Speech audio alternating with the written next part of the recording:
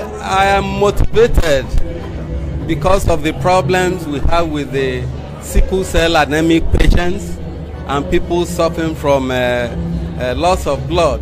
People whose hemoglobin are very low, the PCV below below 30. And uh, each time they, they run into crisis, they take a lot of blood transfusion, which may not necessarily help them. They take a lot of blood giving tablets, which may load the system of sickle cell anemic patients.